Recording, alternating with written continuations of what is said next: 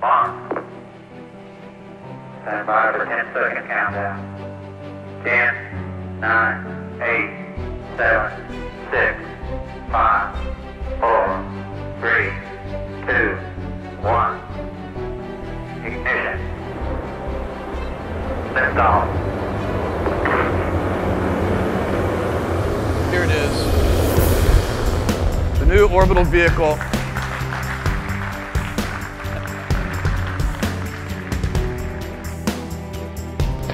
Covering Brevard County, where NASA's newest innovation could translate into jobs along the Space Coast, an area still recovering after the shuttle program shut down. Happening right now, the future of human space flight, the Orion capsule, rolling out to a launch pad at Cape Canaveral Air Force Station.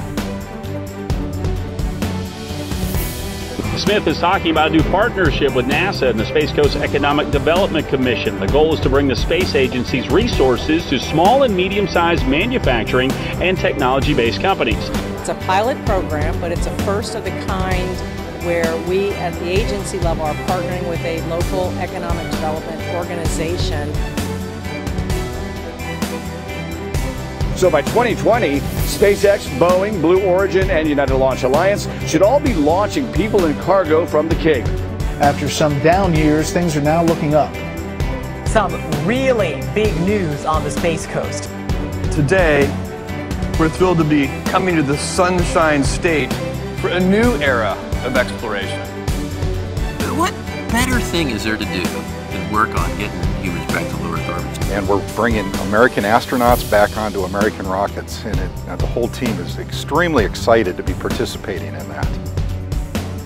We have every opportunity to be the global hub for business. Governor Rick Scott is in Brevard County for an event that's bringing jobs to the area. Yeah, he was at the groundbreaking for a new technology manufacturing facility.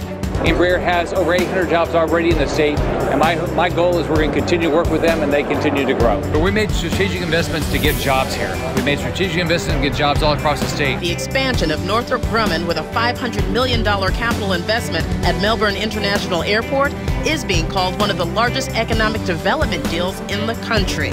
A project like this, you can imagine how extremely sought after it could be. Northrop Grumman has sites in 30 different states.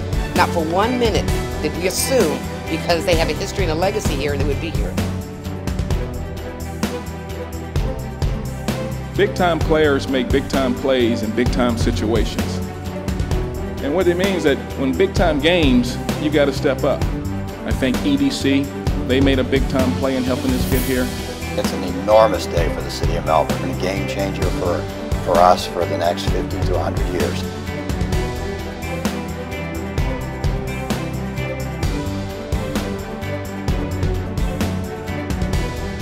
Today we have 3,000 people occupying more than 2 million square feet in 50 buildings